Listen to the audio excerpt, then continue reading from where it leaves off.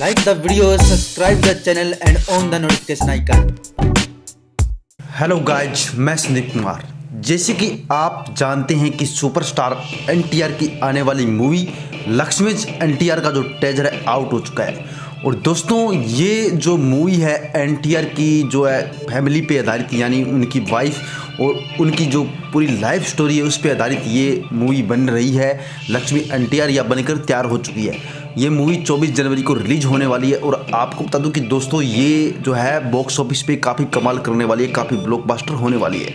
जिससे कि दोस्तों, मैं ऐसी बात इसलिए कह रहा हूँ क्योंकि एनटीआर की जो हर मूवी है, काफ़ी कमाल की हुई है, काफ़ी ज़बरदस्त हुई है ब्लॉकबस्टर ऑफ़िस पे, जो है उन्होंने बॉक्स ऑफ़िस पे काफ़ी धमाल मचाया है। और ये जो मूवी है, उनकी जो रियल लाइफ स्टोरी पे आधारित है और इसके अंदर जो परफॉर्मेंस है, जो बालकृष्ण राव है एंड राम गोपाल है, काफ़ी ज़बरदस्त तरीके से जो इस चीज़ को एक अलग ही नज़रअंदाज से जो उन्होंने यहाँ पर दर्शाया गया है। जो कोरियोग्राफी देखी जाए, इस मूवी की डायरेक्शन देखी जाए क्योंकि टेजर से इतना कुछ ज़्यादा पता नहीं चलता, लेकिन जो भी टेजर देखने के बाद मेरे को कोरियोग्राफी के बारे में और कुछ डायरेक्शन के बारे में एनालाइज करने को मिला तो वो काफ़ी ज़बरदस्त लगी मेरे को, काफ़ी ज़बरदस्त लगा कि इनकी जो कोरियोग्राफी जो डायरेक्शन की गई है, काफ़ी अच्छी तरीके से की गई है। अन्य आप लोगों की क्या रहे आप हमारी इस वीडियो में कमेंट ज़रूर कीजिएगा मैं संदीप कुमार, आप लोगों से गुजारिश करता हूँ कि हमारी इस वीडियो को लाइक और शेयर करना बिल्कुल मत भूलिएगा अगर आप पहली बार देख रहे हैं तो चैनल को नीचे दिए गए रेड बटन पर क्लिक करके सब्सक्राइब ज़रूर कर लीजिएगा, ताकि आपको लेटेस्ट अपडेट सबसे पहले मिल पाए